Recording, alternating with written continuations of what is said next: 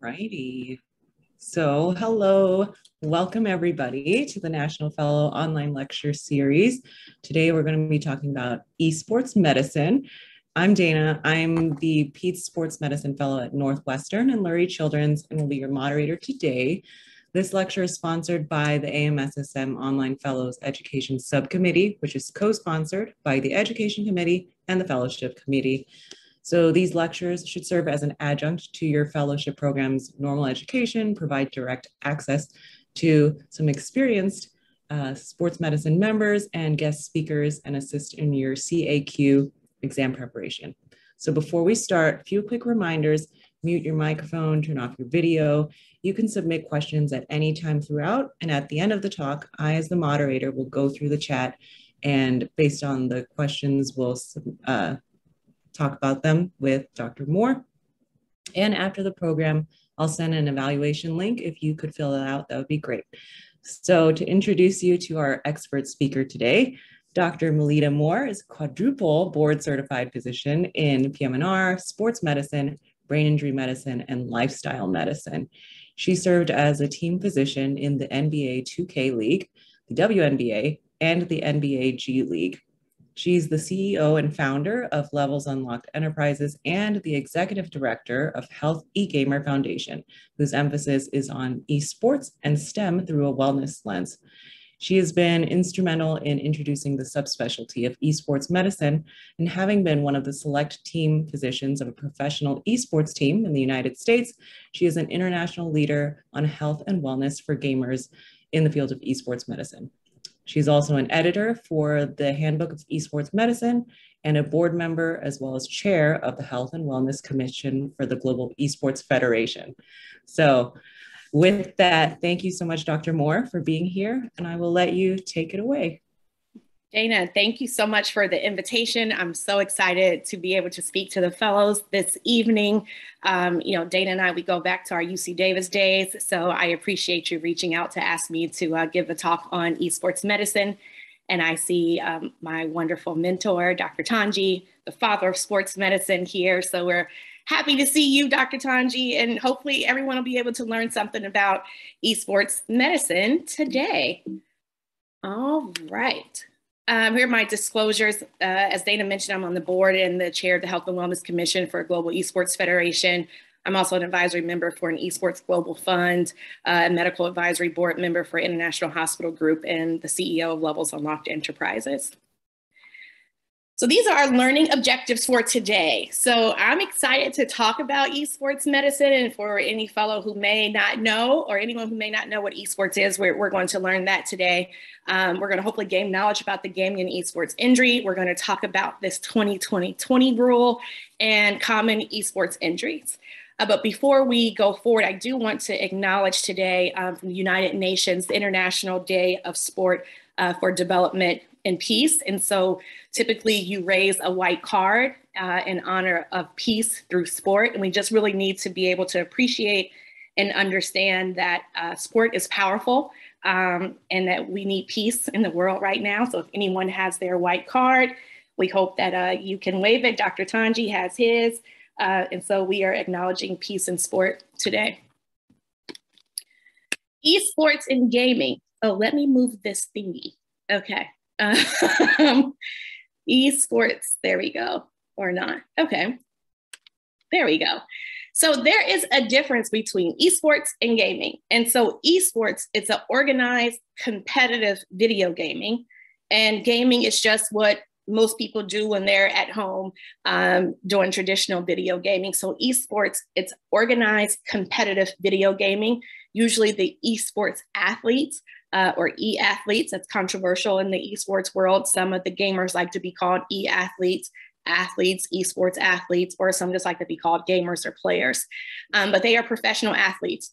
And so I know this looks like a bunch of um, funny words under here. This LOL doesn't mean laugh out loud. Uh, these are actually game titles. And so when we talk about esports, this competitive video gaming, there's usually certain genres of gaming. And so those could be first person shooter games, they could be battle royale or strategy type games. So this LOL means League of Legends. Um, COD is Call of Duty. uh, CSGO is Counter Strike Go, Dota 2, and NBA 2K. So if you've never heard of these titles, this these are what esports players they compete in. Um, the other very important thing, because you will get really um, talked really badly about in the esports world with regard to how you spell esports. And so we typically see it um, various ways. A lot of times we see a lowercase e and a capital S. That is incorrect. Esports is a sport, just like basketball or football. So if it's in the middle of a sentence, it's lowercase. If it's at the beginning of a sentence, it's uppercase an uppercase E. So just remember that it's just any other type of sport. So um, if you are doing any publishing or any research, just make sure that we are spelling esports correctly. People are a stickler in the industry for that. There are over 3 billion gamers worldwide. That's half of the population or people that identify as gamers. I myself am not a gamer, and people ask me, "Well, how are you taking care of these professional uh, gamers?" And I say, I- am not an NFL or NBA player either, but I do know how to take care of an ACL and the mechanism of injury and how to treat it. So I tell people the same thing. Um, I am in my gaming chair today, just because we're having this lecture. So this is a beautiful chair um, for my ergonomically correct setup. And so, 64% of American households own a video game device, which is crazy um, 60% of Americans say they play video games. And in 2021, Americans spent $60 billion on video gaming. So I'm really grateful that Dana asked me to do this talk because if you aren't aware of esports and gaming, this is certainly what we are seeing. This is the, it's not a trend. Um, it's here to stay and, more so, especially uh, during COVID or since COVID. Uh-oh. Okay. When we talk about gaming types, there's three different major gaming types. One is PC gaming, so that you do on your laptop or your PC setup. The other is console, which most people are familiar with, so an Xbox or a PlayStation or the Nintendo Switch, and mobile gaming. So AARP put out a stat in 2019 that there are 55 million Americans over the age of 55 that mobile game more than four hours a day. So that is, we are talking about this, this is across the age spectrum when we're talking about gaming, a lot of mobile gaming. Um, and so the casual mobile gaming and all people are doing Candy Crush or Pokemon or Words with Friends or Wordle. That's actually mobile gaming. Um, but when you're playing a video, a, a, video game title, India is huge for mobile gaming, uh, China, Africa. And so that's where we really see the most of the mobile gaming, but we're starting to see it worldwide. This is the stadium. So you all, as fellows, might be used to being courtside, um, on the sideline. This is now the new sideline. And so this is actually a setup of the NBA 2K League. And as Dana mentioned, um, I was a team physician for the NBA 2K team here in Washington, D.C., called Wizards District Gaming. Uh, I was their team doctor for three seasons, um, and we won the championship uh, the second the second year. So this is the setup. This is now your your new arena. And pre-COVID, esports events sold out arenas. They sold out football stadiums, soccer stadiums, sold more tickets than an NBA team inside the NBA team's own arena. And so this is very popular. Um, in 2020, it was uh, League of Legends, that LOL, League of Legends, it was the third most popular professional sport behind NFL and NBA which is crazy. We're talking about esports. And if, like, again, this is one of the main titles, League of Legends, third most popular professional sports league. This actually was in 2018 from Syracuse, and these numbers actually changed during COVID. But if you can see this projection, that esports actually jumped the number two as far as viewership in the US. So 84 million views across the board for America watching esports. During COVID, um, when especially when all sports stopped, what we saw on ESPN was NBA 2K League. We now are seeing professional video gamers playing basketball. We saw a lot of F1 sim racing. And so it is very interesting to see how close these numbers will be with new data that has come out um, in, in the pandemic to see how far we esports is closer to the NFL. This is an astounding slide here. So this is the number of hours watched on streaming platforms. So in the gaming world, streaming is very, very popular. Um, most people have heard of Twitch. That is one main streaming platform, YouTube gaming, um, Facebook gaming. And so people typically in the gaming and esports space, they watch other people game. Um, and that's called streaming. So I would have my own setup, I would have my own camera, and I'm talking, I'm showing my gameplay, and I'm streaming. There were 5.7 billion hours of streaming watched on Twitch in 2021. This is wild. Meet your new streamer. If you haven't heard of Ninja, you've heard of him now. Tyler Ninja Blevins is the leader of the pack. He is really leading the game from a streaming perspective. When he goes live on his streaming platform, and he actually has been bought out to go from platform to platform, he's like the LeBron James, the Serena Williams of, of, of streaming. And so when he goes live to play a video game, he typically will have over 70,000 people watching him at one time stream live. You see this bottom line? $300,000 a month just in streaming revenue. He has um, sponsorship with athletic companies, with athletic shoes, with apparel. Ninja has so much income coming in all from streaming. He's not a professional gamer, he's a professional streamer. So streaming is something that is just really huge. You can hear that this is a cover of ESPN magazine, and they're calling him a crossover star. So esports and gaming has certainly crossed over um, long ago. Here is another example of a traditional athlete, Aerial Powers, WNBA champion, coming over and crossing over into the esports side. And full disclosure, area Aerial is one of our clients for our brand management and events management company in esports. Um, and we're very proud of what she's doing as a female, as a WNBA player, as an esports enthusiast. She is a co-owner of an esports team. Um, she is the leader of, of diversity, equity, and, and, inclusion for Team Liquid, which is the winningest esports team in the world. And so this slide really demonstrates a few things. Um, what I didn't know before I got into esports was anything about a digital divide when we're talking about communities, mostly communities of color in urban and rural areas, not having access to Wi Fi, quality Wi Fi, we saw that play out a lot during the pandemic just with school, but pre pandemic, this digital divide was even larger. Uh, I did not know that there was a huge disparity for women in gaming. You would think this is just video gaming. I'm getting on, I'm putting on my headset, and I'm playing on my Xbox with someone else around the world somewhere. But the disparity and the bullying that happens with female gamers once people hear their voice or they see them on their stream then there's a lot of um, issues that happen where they maybe let's just say it's NBA 2K. They're not going to pass the female player the ball, so now she can't score the points, and now she can't win her portion of the game. So we really try hard to, and that's one of my passion points in esports is the making sure that we're giving opportunity, um, equity, and visibility to people of color and women in gaming. This is um, a very proud slide for me because in 2019, when my hospital I was working at the time asked me to be the team doctor for our NBA 2K team, I didn't even know what it was. Uh, and they just said, Melita, can you jump on this call? I said, okay, fine. Uh, at the time, I was taking care of our um, NBA G League team and our WNBA team, and I had a college that was taken care of. And I got off the call and I said, why, why was I on there? So, oh, you're going to be their team doctor. And I had no idea why a gamer would need a team doctor. I'm working with the professional athletes. This is what's going on in my mind at that time. Why would I now come and work with gamers?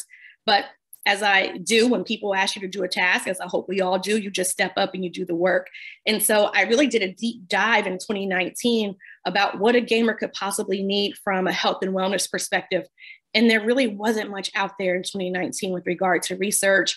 Um, certainly, no books or very few books that were uh, about gaming and esports and health and wellness.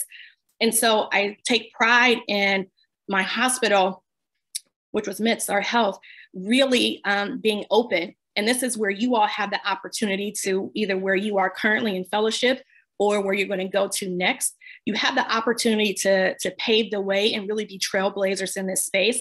I told um, our sports medicine team, hey, I think we should come up with the pre participation physical for gamers, which when our NBA 2K League um, they have one sheet in 2019. They had one sheet, and if you just had to sign it to say this person is fit to play in the NBA 2K League. Well, what the heck does that mean? We don't see that with our, our soccer pre participation physical or our football pre participation physical. So, why is it just signing a paper saying they're fit? That didn't sit well with me. So, at that time, we created a pre participation physical. And um, throughout that work over the past several years, I have been able to tour the world talking about health and wellness for gamers. And so on the top right, we did a healthy health e gamer summit, um, which is our nonprofit. And we did that in Ghana, really educating um, the youth there in Ghana about the importance of being healthy and well, and how you can do that with with esports and talking about healthy digital lifestyles. On the left, I was in Saudi Arabia with the Global Esports Federation. We had a mobile PUBG tournament, and I got to talk about health and wellness. And on the bottom right, I spoke at the World Expo in Dubai in November about esports and the metaverse. And I just really have to sit back and think about my very humble beginnings in sports. And I did my sports medicine fellowship at UC Davis in 2009. And to see kind of how my life has transformed, how sports has transformed me over this um, decade is really mind blowing to say I'm, I'm speaking at the World Expo um, and not about sports, not about concussion. I'm talking about esports. Um, so if there's anyone that's interested, there's a new world that's out here, and you get to create and build whatever you want um, when you have the passion for it. So we're going to talk about some health concerns. And so typically when you say, oh, we're talking about um, health and wellness for gamers, everyone, almost everyone says, oh, what do you do? Just treat carpal tunnel. And it really makes me angry, um, but I take a breath and I understand that a lot of people just aren't educated about it. And it's, it is not an ignorance on their part. Um, it's just people don't really know. So these are some of the topics that we are going to talk about. Mental health is huge. And so typically when I am speaking about overall well-being or healthy digital lifestyles, I really put mental health up top. This is pre-pandemic before mental health became its own crisis and its own pandemic. Um, and when we talk about mental health in esports, there's negative and positive sides. So our very first year of our team, our um, NBA 2K team, they had a sports psychologist. And if you look at the professional industry of esports, a lot of the professional teams, they may have one medical professional and it's usually a sports psychologist.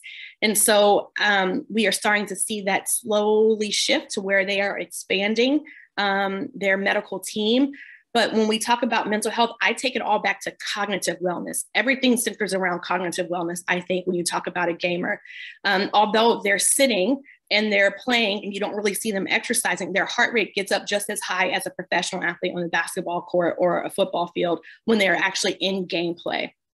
And so when we talk about kind of these positive benefits of sports psychology, if you can imagine, this is a person usually at their home playing alone, and then they get into a professional league. And so now they're immediately on a team when they've never been on a team sport before. They've never been in the spotlight. They've never been on the stage in front of tens of thousands of people. You can imagine how that all just kind of can come crashing down on someone. And so a lot of the sports psychologists is just like we do in trad- traditional sports, talking about focus and attention, um, visualization, really talking about how you get in the zone, but not go past the zone and how to be a team player um, and how teamwork happens. And so that's a lot of what happens initially when they when you come onto a team.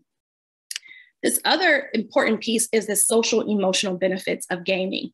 And this is where it goes down actually into um, the youth. And so, what we are seeing a lot in elementary and middle school is gaming being brought into the curriculum, whether that's Minecraft, whether it's Roblox, it's really kind of those strategy games.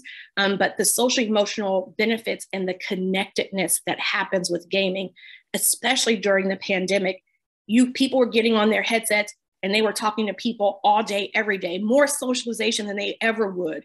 And so, what some of the re- early research has shown is that for the youth who game, they actually have better social skills than kids who don't. Um, they have better hand eye coordination, problem solving skills. And so there really are some great benefits to gaming. Um, now, on the flip side of that, of course, there's the negative connotation that can come around the mental health of gaming and professional esports. And depression, and anxiety are certainly the top two. Um, and then the social isolation. Again, people are used to being at home um, by themselves playing this game. And so they may not be going out publicly or engaging with their community. And so this is some of the negative parts of mental health. Gaming disorder is really a controversial topic um, in, in the gaming space. I know it came out as an ICD code um, and that really met the community with an uproar because we feel like the gaming disorder, the, the definition is really um, quite strict and really robust. Not to say that gaming disorder doesn't happen. We have seen a lot of gaming disorder when we do see it coming out of the Asia market. Um, but overall, gaming disorder, we really don't put too much um, talk or speak into just because I don't really feel that it's gotten its fair shake um, because we don't really know the esports and the gaming industry. This is one thing. This is the second most important thing. This is what I learned a lot. And so typically in our sports medicine fellowship, we're not really doing much about vision unless we're talking about concussion. Um, but we never talk, well, I didn't hear about computer vision syndrome or digital eye strain.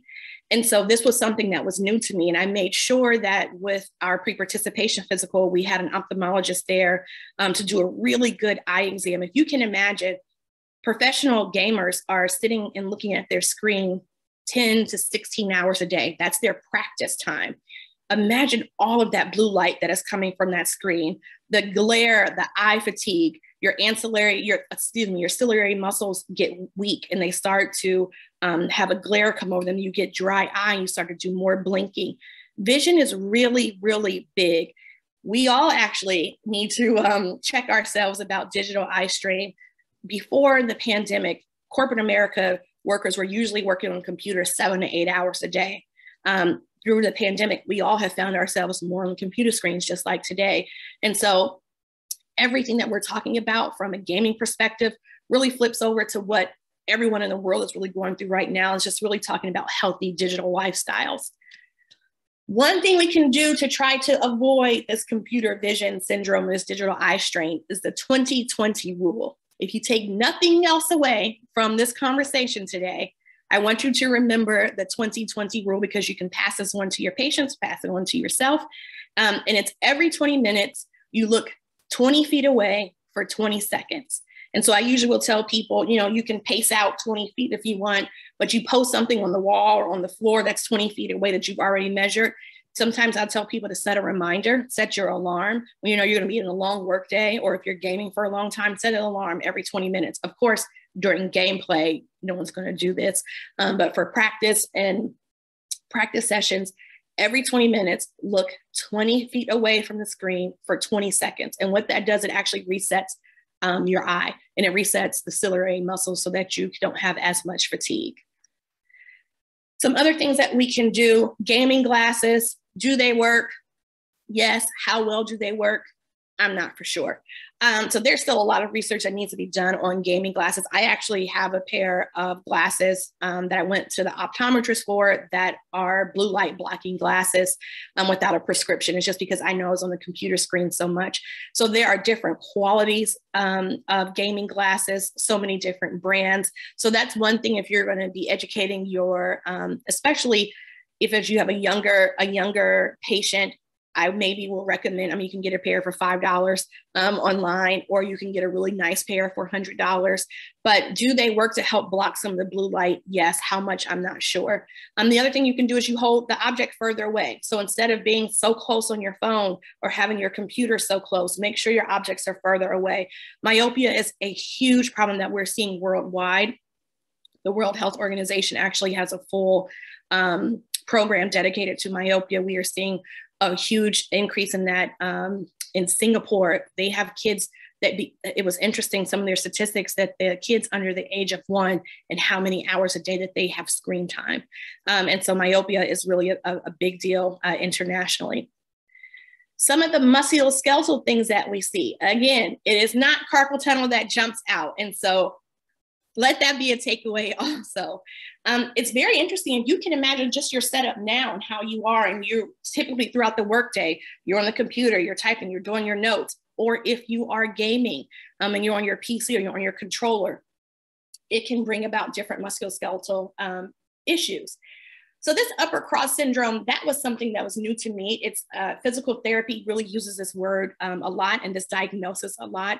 Um, and we'll show a photo of that when we're talking about neck and back. If you can imagine sitting in this chair for 10 to 12 hours a day and you don't really get up that much, you're gonna have neck pain and low back pain. We see some spondylosis. We see a lot of lower lumbar um, radiculopathy from prolonged sitting from the wrist, it's very interesting. Um, we see a lot of ECU tendonitis. We see some TFCC. So depending on the type of gameplay that you're doing, if you're on a PC, um, usually with your left hand, you're doing a lot of movement, a lateral motion. And so you're getting a lot of irritation overuse. So what we see in gaming is really um, tendinopathies, a lot of overuse syndromes. Hopefully we are starting to hit those a little bit before um, they become an itis uh, and just a little bit of a symptom before they actually um, become a true diagnosis. We can see a lot of intersection syndrome. You imagine just on the mouse and seeing a lot of intersection syndrome. Gaming thumb is de Quervain's tenosynovitis or texting thumb or selfie thumb. Um, and then a lot of CMCOA.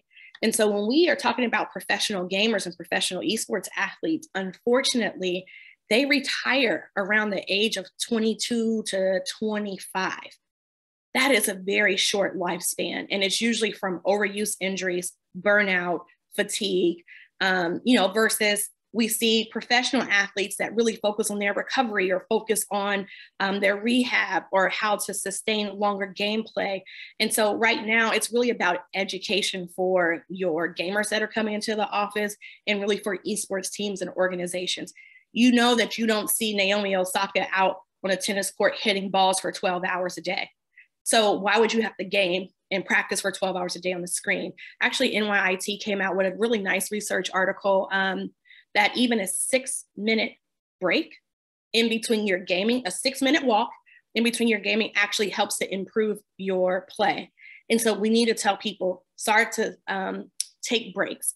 Don't game as long. Usually after about five hours of gaming, your performance starts to go down. So gaming longer does not equal better play. This is also something that's very specific for esports. And so when we talk about keybinds or grips, it's really kind of going to like performance art medicine. Um, and when you talk about the performing arts, you need to know what type of instrument your patient plays so that you know the very specific hand motions or neck motions if they're playing a violin or if they're on the guitar. So it's almost similar to performance arts um, where you really have to know what game you're, and you don't have to be familiar with the game. Uh, you know, I have some patients come in, I don't know what they're talking about. I say, well, show me what your setup is. Um, and so you see, I didn't just misspell some, just type some random words here on the screen.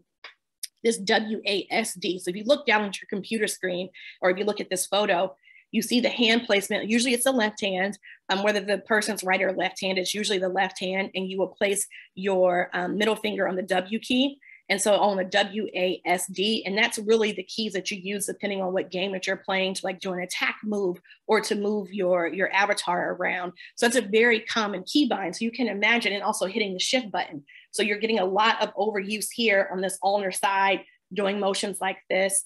Um, if you're on the controller, like you see on the left side, if you have a traditional grip like it is up top versus on the bottom. Can you see how his finger is kind of this claw grip on the controller? Just imagine how much the EIP is working if you're moving it all around. So it's really about knowing um, the key binds. Not co so common are on the right side are the IJKL buttons. It's really the WASD, um, but also the different grips that you use on the mouse. Is it a palm grip? Is it a claw grip or a fingertip grip? So when you're talking about esports medicine, it is imperative that you learn what your patient is doing, what kind of setup they have. Is it a controller or a PC? How do they grip the mouse? What's their key bind? So you can have a really idea where to focus your, your exam. So this is upper cross syndrome. So you can see the cross here where they kind of have the upper back muscles crossing over with the tight pecs. And so you're in this forward posture, which is terrible. The neck muscles, their flexors are, are weaker. And then you have your mid back muscles because you are, are so hunched over, you're not really engaged in your rhomboids or your serratus anterior. And so from this terrible posture, you can start to get this upper cross syndrome. This is treated um, very well with physical therapy. You can see on the right, I am in it. I'm not really a gamer, um, but you can see it's a really bad posture. this is the approved posture. So when you talk about ergonomics, it's really important from your workstation at home to people's gaming stations that you make sure that you have a neutral spine. Your feet are flat on the floor, although not in this picture. Um, your elbows are to your side. And so in my gaming chair, I've set this up to where I have a very good posture here. And this chair goes all the way back, it comes forward. So you get a quality gaming chair, that really can make the difference. And so if you have a patient who is an avid gamer or they are really um, grinding to make it to a professional level, then you want to make sure that they have quality um, seating. It, they can be very expensive. And so if it's a casual gamer, just making sure they have a nice chair, just like a regular chair that has some support. Dr. Mario says this is good. Um, these are very, very simple things to, to, to talk to your patients. And so this is just like any other injury that may come into your office, any other symptom, upper extremity, you really need to know your upper extremity anatomy, anatomy really well when you're talking about esports and gaming. Yes, low back, lower extremity, we do that a lot, but when you really are getting into the fine details of the upper extremity, you can give your patients an exercise prescription. Um, sometimes they need to go to hand therapy, but these are some very simple things that you can do uh, to give them their and their patient instructions, their post-visit instructions to say, hey, before you start the game, make sure you do a warm up. You wouldn't let you, any of your athletic teams get on the field or get on the court without warming up. You just don't do that. We know that increases injury. So when you're gaming, you need to have a proper warm up and a proper cool down. And so these are very basic that you can tell anyone. They don't need to work with a therapist to know this. This is a, uh, one of our athletic trainers here with the Washington Wizards who does a lot of who does a lot of um, the esports talks with me. And so that's Carlos in the picture and doing some very gentle neck stretching. This kind of middle and right picture that's kind of the turtle when you stick your neck out really far. Oh, it feels good. Go ahead and get that stretch here in the anterior neck and then pulling your neck back to give it that double chin so that's really engaging the posterior and anterior muscles. So this is a beautiful neck stretch. This always feels so good. You should be doing this too, maybe in the middle of clinic or while you're listening to these long lectures. Um, just again, reminding yourself that you need to be stretching. We are, everyone is now sitting much more. Wrist and forearm stretching. Um, this is key. And so even just now, you haven't gamed. Well, maybe you have gamed today. I haven't gamed today um, but I've been on my computer a lot. So even in doing this, you feel that really good stretch. These are very simple things that you know how to do. You know how to show your patient. You can give them a TheraBand if you want um, while they're in clinic to say take home and start to do some of these very simple stretching exercises. Finger stretching, it looks weird, but you certainly want to make sure that you're getting a really good stretch on all of your muscles here um, and all of your fingers because this is what's doing most of the work when we talk about ergonomics and, and really a good setup for gamers, you know, there's a lot of elbow issues that come, um, a lot of lateral, lateral epicondylosis just from mousing so much, and it's usually all right-sided. Like I said, even people are left-handed when they game. They usually are mousing with their right and doing the WASD keys with the left. And so we'll see a lot um, of either um, hypertrophy of the forearm muscles, some lateral epicondylosis, certainly some olecranon bursitis just from sitting and rubbing their elbow either in their gaming chair or on their desk, just an improper setup. Um, and so some, those are some of the key sites to make sure that people are aware of. Very simple, get a rubber band. We tell people to do this all the time for various things all this information you already know. You're just switching your brain over to say, I'm now talking to a gamer about doing this. Um, and so doing some simple stretches with the rubber band. On the bottom, this is a bucket of, of rice. Um, to do some strengthening exercises with the wrist, to do some strengthening exercises of the fingers. So nothing fancy, nothing sophisticated or expensive. Everyone can do these techniques at home uh, to make sure that they are preparing themselves for a gaming session.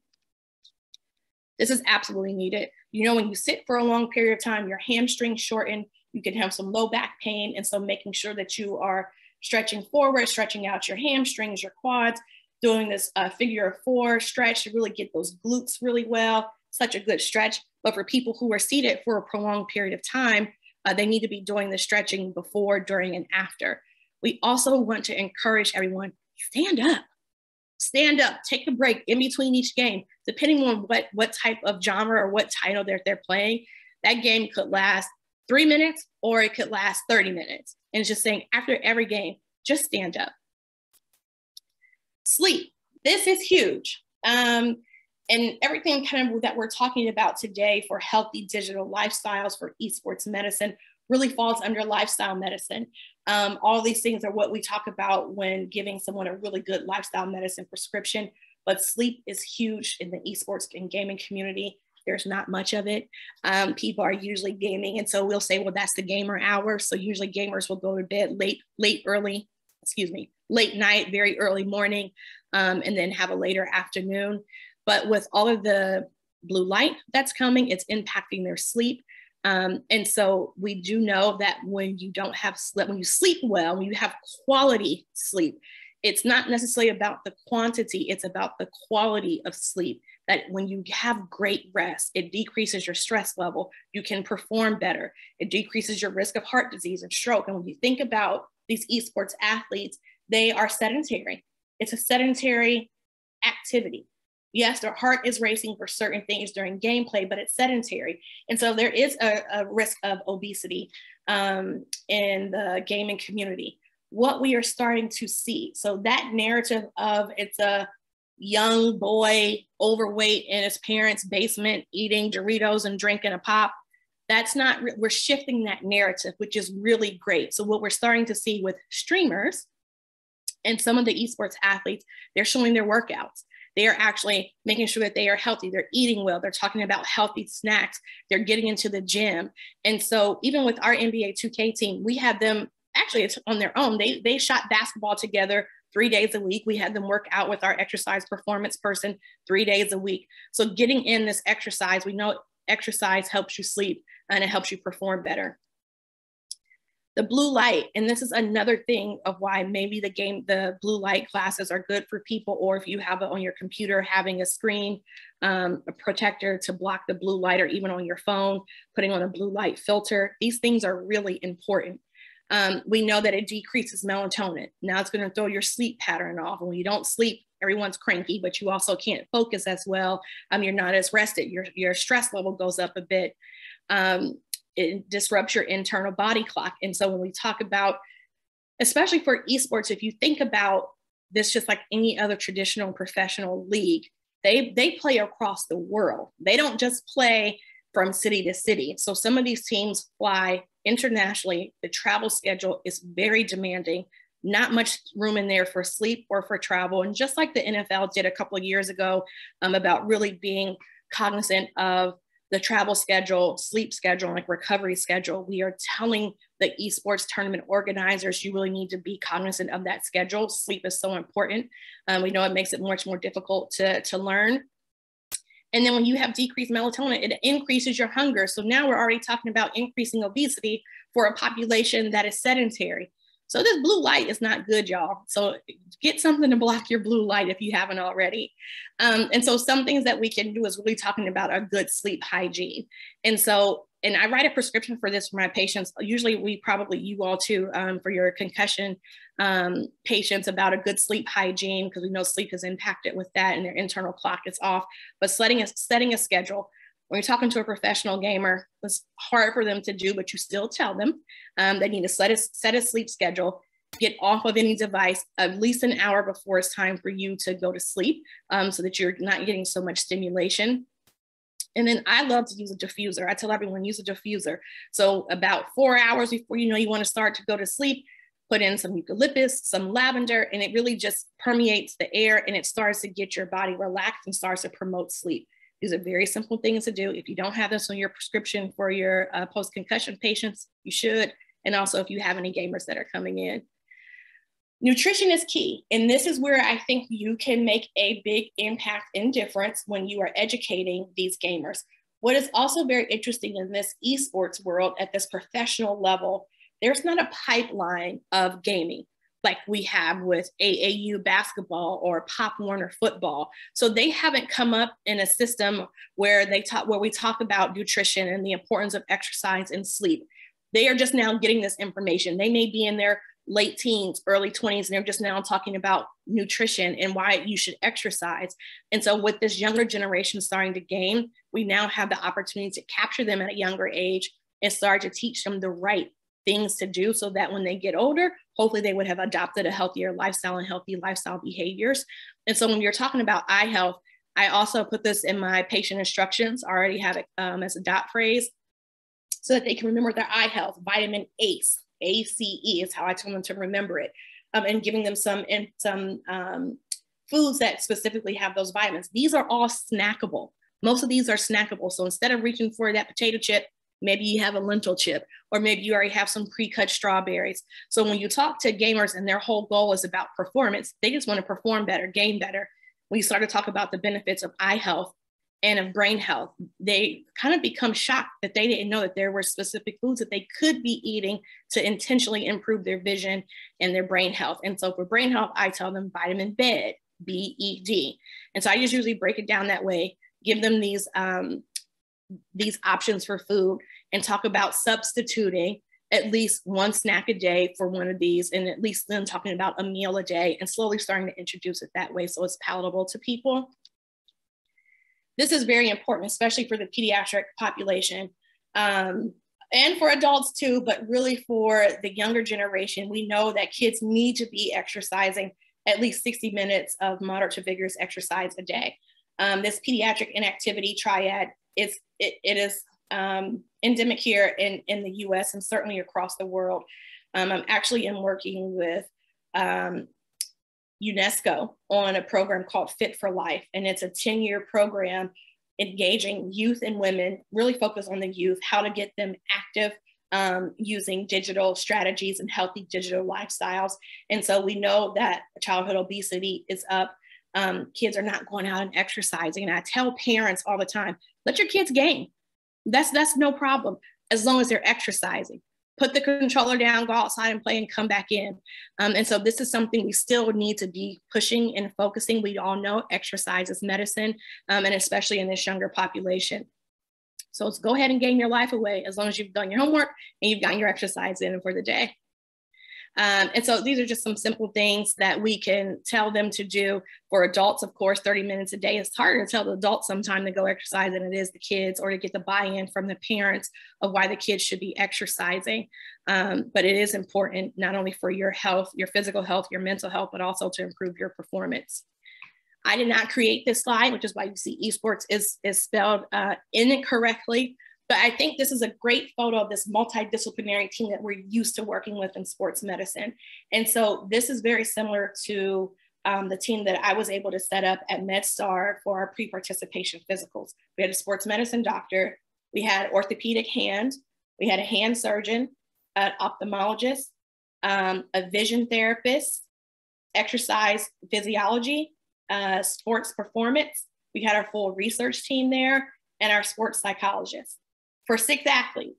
But that's what we do for our other 15 professional basketball players. Why would we not do it for our six professional esports athletes? And so just talking through all the things that we mentioned today, um, and, and nutritionist is on here, um, it really is a multidisciplinary effort. Um, right now, World Health Organization has um, a brand new um, initiative called Safe Hearing. And so again, most people who are gaming have the headphones on, they're turned up really loud. And so now we're starting to bring in audiology into the conversation and making sure that we have safe hearing now so that we can hear in the future. Um, and so all these things come into the care of taking care of professional gamer. And people are shocked to understand and to hear how much goes into it. One other thing I just want to make sure to note is that gaming is accessible to everyone. And I'm so proud um, of this slide. I know it doesn't look so great. I'm not the most tech person, but to know that uh, Mount Sinai in New York, Nike actually sponsors um, an adaptive esports team.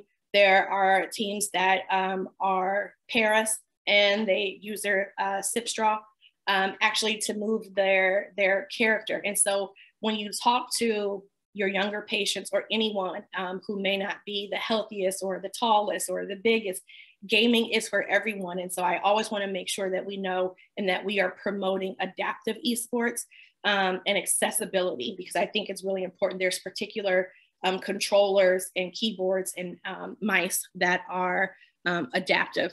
And it's really impressive.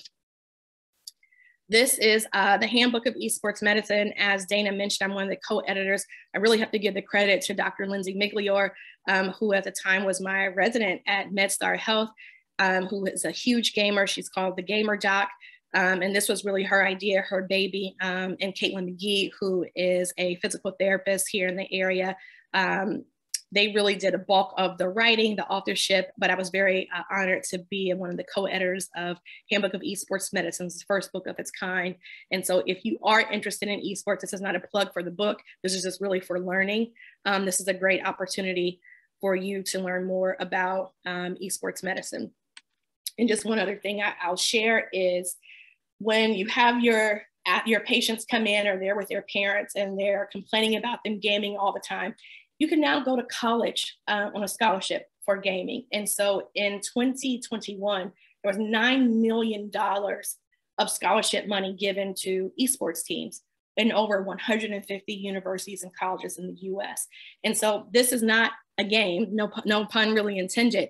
Um, this is really serious. And so if you have someone who's interested, um, you should really promote and, and encourage them to keep gaming, healthy gaming, um, because they can go to college. There's so many different verticals and things that you can do within esports outside of just being a gamer, but now you can go to college. So that is a, a very quick overview of esports medicine. Uh, thanks, Dr. Tanji. And uh, I'm open to any questions. I know, Dana, we, we may take some questions from the chat or you have some already. Yes, thanks so much, Dr. Moore. That was great. Um, I'm sure we all, including me, learned a lot about the whole world of esports medicine, all the different aspects of health that are involved. And thanks for also touching on the importance of inclusion in sports, including esports. Um, for everyone, I'm putting a link in the chat right now that's for feedback, if you could fill that out. Uh, Dr. Moore, I do have a few questions. The first one is, how did you get involved with NBA 2K? And for anyone who's interested in getting involved with esports, how do you recommend getting started? I was voluntold. I was voluntold by my hospital. And, you know, um, you know, when talking with um, Dr. Brandy Wade at UC Davis, when I was told her, oh, to take care of this video gaming team, it's really talking about I could have potentially blocked my blessing there to say, oh, I don't want to do this. I just said yes. I was voluntold to do it. And I think, and I asked, why me? Um, and I think because of, of my background with um, you know, PM&R in sports and brain injury and really lifestyle medicine. How can you get involved? So that's very interesting at the professional level. Um, in 2019, I was the only team physician for a professional esports team in the US. Currently, we have Dr. Lindsay Migliore, who's a director of player performance um, for Evil Geniuses, which is a professional team. For the other professional teams, they really have a sports psychologist or a director of player performance. They have not quite gotten there yet to understand that you need a team physician, you need an athletic trainer, you need all of these people. And it's interesting because most of the owners of these professional esports teams are owners of traditional professional teams. You put the value and you invest in the product. The product are the athletes. Um, so at a professional level, it's still really hard to get some experience uh, I would say start to get in some research because that is really an area that um, is starting to grow. There's an International Journal of Esports Medicine. Um, there are a couple other journals that are out there.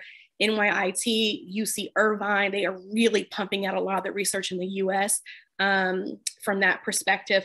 It's hard to break in right now. And so it's kind of if you if you know a gamer, someone that's streaming, then maybe you can start to get on their stream and talk about healthy gaming or talk about, hey, you should do this. Um, because the professional bubble hasn't burst just yet. And we have a related question from Kong Kong. He said, Can you talk more about coverage of esports, including training room, sideline compensation? Yeah. So um, for me, for with with my hospital, um, there wasn't really any compensation because it was just kind of we take care of all these professional teams. But um, outside of this me with the NBA 2K league, uh, I don't know what the compensation is because, like I said, right now it's either um, exercise like physiology, like performance based people, uh, or sports psychologists that are really on the medical team. And there's really just a person of one, and a lot of times. Um, but what is the sideline coverage like? So I had no idea, like I told you, what NBA 2K was. So I flew across the country from DC to Las Vegas to a tournament. And because I said, well, if I'm taking care of these players, I need to know what the hell do they do? And so I actually went to a live esports event. Um, and then, of course, then the pandemic came. We actually just had one on behalf of Global Esports Federation in Singapore, and it's just live. Um, and I found myself yelling at the screens, like pick up the ball, pick up the dribble, like and and so I think if you are wanting to get into esports, a great way to do that is with sports titles. So whether that's FIFA, um, NBA 2K, Madden, so at least you know the sport, and now you're kind of going into the electronic version of that versus picking up and talking about League of Legends or Dota 2. Uh, so if you want to kind of slowly kind of dip your toe in, I think it's easier to start with some of the sport specific um, games. But we have a we have a long way to go. It starts by having talks like this um, that we can hopefully then be on the main stage uh, talking about esports medicine. That would be great. And we have a also related question from Edwin. He says, as far as the pre-participation physicals go for esports, what would you recommend adding slash changing on the current high school forms? Anything physically that we should look out for or keep an eye out for? Yeah, I think this is when you really focus in on your upper extremity physical exam. I think that that's key. Um, if you have the opportunity to have a vision therapist there with you to really do some very quick, high level um, testing, that would be great because um, you don't need necessarily the orthopedic hand surgeon. I mean, we were just being extra biased. Let me just bring everyone to the table that I think would really fit this team. But from like a high school per, um, um, pre-participation physical, I would focus on upper extremity, your upper extremity exam. I think vision, we absolutely need to be checking um, and a mental health screen. Another question from Edwin Any data on issues with virtual reality gaming? So I'm not um, too sure about any issues so far. We that's still kind of in its infancy. People might kill me for saying that in that world. But what we are starting to see, um, and what we saw in the in the, in the Olympics um, this past year was active esports, what we're calling virtual esports. And so it was just a demonstration um, actually in August at the Commonwealth um, Games, which is the third largest sporting event in the world behind the Olympics and World Cup. Uh, the Commonwealth Games, 74 countries and territories. That is in um, the UK in August. And actually, the Global Esports Federation is putting on a Commonwealth Esports Championship. So we're going to start to see that more. But I like the VR AR world because now we're talking about active esports or virtual esports. So now we get exercise and activity and gaming all in one. So it's kind of doing a full circle, talking about more of a healthy digital lifestyle. Another question from Kong Kong. Any advice for college students on their school's esports team looking for national accreditation, things like listing under the school athletic department with the associated funding, et cetera? Yeah, so collegiate esports is is is interesting. It's not a sanctioned sport by the NCAA, which means that Title IX is not in existence, and so 90 plus percent of the scholarships have gone to um, men and not women. And so uh, I think some schools are trying to fight to get it sanctioned as a sport. Either they have their own esports team or clubs. So there is something called NACE, National Athletic Collegiate Esports, um, which is really uh, the really big body for most of the colleges that offer scholarships.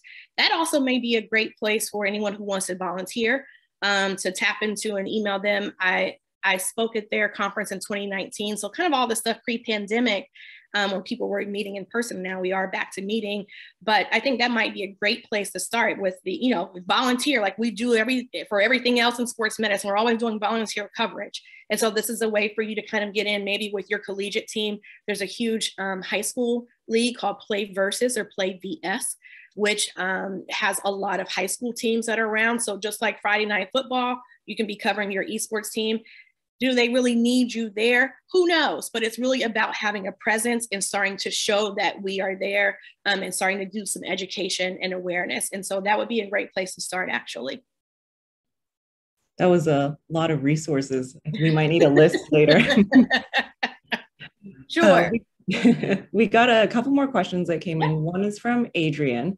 Um, how do you recommend starting a wellness program for our local university esports team or maybe even our local high school team? I've read this population might be initially resistant to care. How would you recommend overcoming this? Um, it's about fun. And you so you can't you can't take the fun out of games and esports. And I think that's the biggest thing to take away when you're talking about healthy digital lifestyles. You still have to talk about the fun in it. You have to let them know you're not coming to shut them down, not coming to have them eat um, cucumbers and carrots, but it's really about education. Like I said before, this is there's no pipeline for for gaming so they haven't had that training that younger kids have had in different sports. Um, i think it's so a lot of for the college level if it's a club team or even for their esports team um, it's usually a professor from the school. And so some of the schools you know they have their own sites up if it's a really a team versus a club sport. Um, so i would recommend getting in contact or finding the contact information for the coach and just talking about can i come in and give a talk or can i do a, a zoom talk to your players about what they can be doing to level up, um, to make their gameplay better. And that's really how I brought it to our athletes. And luckily, out of our six players, three had played in, in high school or college, like traditional sports. So they kind of got it. But it's just really about how I can make you perform better, because that's really at the end of the day what it's about. And then you can kind of brace it that way. And related to playing better, we have a question from Jair it, like in most competitive sports, there's always those looking for that competitive edge. Can you speak on some of the pharmacologic agents, legal and illegal, yeah. that might be used in the esports world? Any discussion or need for possible drug screening? Obviously, difficult to do without any governing body. Yeah, and that's it. There is no governing body for esports, um, and the esports community doesn't want one. And so that's the, the what I have found and I am learning is that the esports community, they are very true. They are genuine, they are authentic, and they don't want you bringing in anything that's not authentic to them or to the space.